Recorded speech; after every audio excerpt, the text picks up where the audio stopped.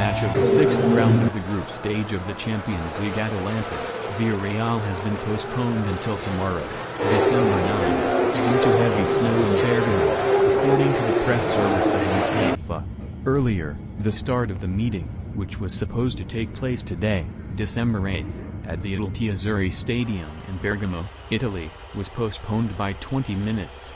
Later, the weather conditions did not improve, so it was decided to postpone the meeting to the next day. Atalanta scored six points, takes third place in the Group F standings and retains the chances of reaching the 1-8 finals of the Champions League. Villarreal, 7, in second place. The rivals of the teams in Group F are Manchester United, 10, and Young Boys, 4. The current UEFA Champions League winners are Chelsea London,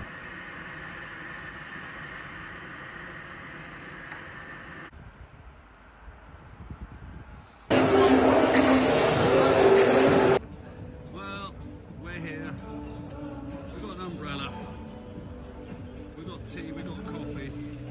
And there's a man on a tractor. Where is he? There he is. Good luck, everybody.